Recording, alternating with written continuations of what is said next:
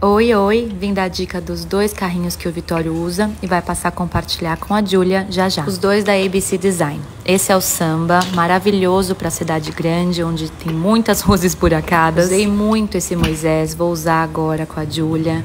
Ele tem essa proteção na sombra, é super firme. Ele tem trava para tudo e ao mesmo tempo é super intuitivo para montar e desmontar.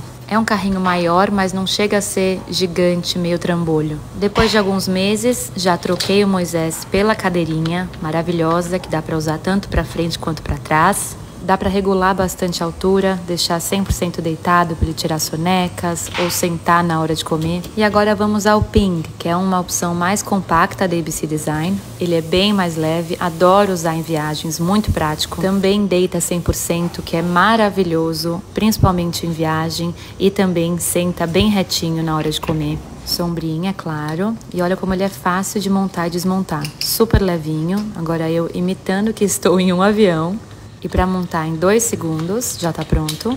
E é isso, duas opções diferentes, mas que valem super a pena ter, ainda mais com dois filhos, dois que têm dois compartimentos embaixo e são super versáteis tanto para a cidade quanto para viagens.